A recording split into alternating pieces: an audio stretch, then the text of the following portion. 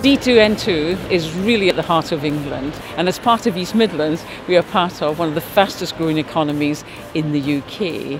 That's happened as a result of all of your efforts and our working together, local authorities, local businesses, and with the support of the LEP to ensure that we are investing in the right things.